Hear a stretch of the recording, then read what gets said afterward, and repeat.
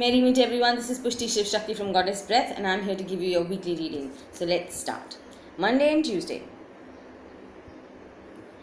It's a six of water.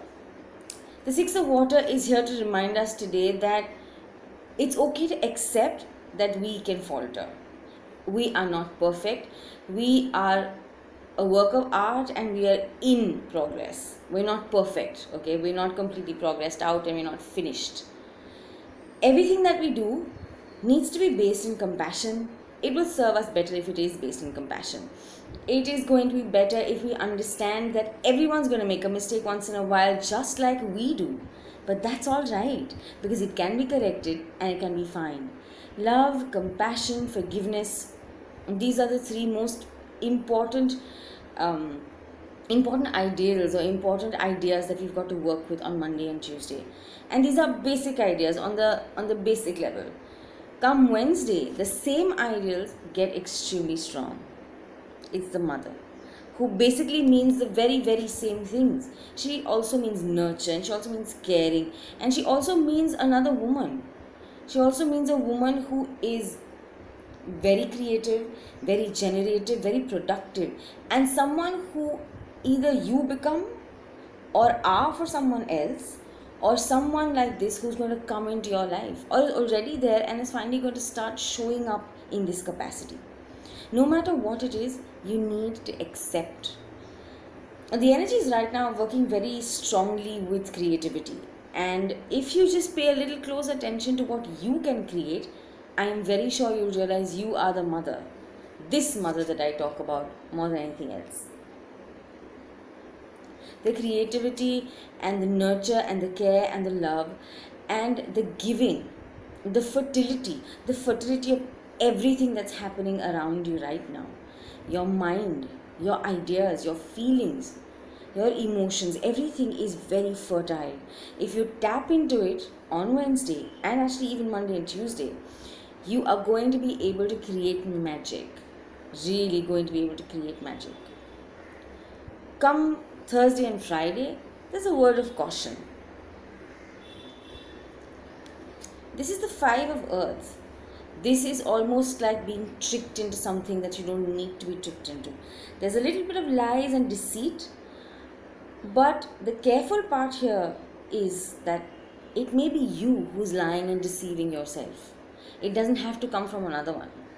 I'm not saying it can't come from another one or it cannot, I'm saying that there is a potential that the other one need not even come through because you are doing a very good job of lying and deceiving yourself. It may not be purposeful. You may not think of it and you may not think that, okay, I'm doing this and, you know, this is what I'm going to be. I'm going to lie and cheat and deceive someone. But just the way you give, make, let's say, the way you make excuses. Excuses are bad, okay? And really good excuses are worse. The idea here is that you need to take a moment to step back and see things for what they really are. Because someone around you or you are not what you think it is or what you can see it is. There is some sort of cheating going on somewhere. So i would say double check things before you do things. Do not sign legal contracts on these days. Um, do not um, you know do not get into a space where you're thinking oh okay okay i can trust this one i can trust that one i can trust i can trust yes you can trust Nobody's saying no. But the fact is, you need to be careful. It's a fact. You need to be careful on these two days, Thursday and Friday. But overall, it is a very beautiful, loving, and a nurturing week. A week where you nurture yourself, you allow someone else to nurture you, and you can also nurture someone another. It is overall a very, very beautiful uh, week. And finally, the goddess card.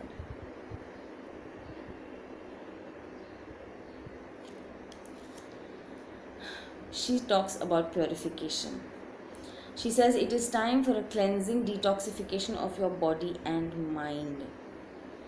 So, everything that you're doing this week, the love and being careful, is nothing but a detoxification because you have to detoxify yourself of pain, hurt, past um, experiences of lack, past experiences of insufficiency, of I am not lovable, I am not worthy of love.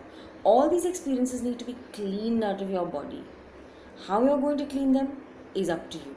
A few ways to clean them is start forgiving start forgiving start forgiving. Who? Yourself. Just start forgiving yourself. Who else can you forgive? Nobody else is doing anything that they need forgiveness for from you you invited that into your life every experience and start forgiving yourself for in- inviting that experience. And that is going to be magic for you right? Uh, on thursday and friday what are you detoxifying from your life? Innocence to make it pure you got to detoxify it. Gullibility you're going to remove it from your life.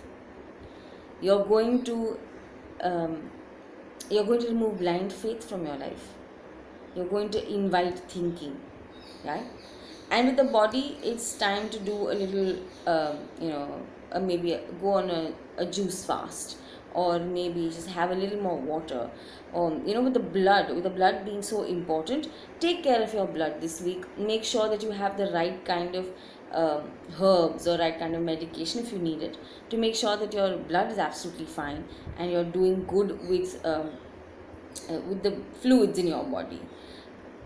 If not blood also the water content of your body. Some women may get not why only women? Even men can probably get water retention or um, they could just forget to drink enough water. So it's your time this week to make sure that you have enough water enough fluid have enough nutrient in the form of liquid. And overall just look at everything that you can be careful about and everything you can add more love to. Because no matter what you do do it with love. Do it with absolute and total love. Have a great weekend you week. Have a great week you guys. I'll see you on the weekend. Love you. Bye bye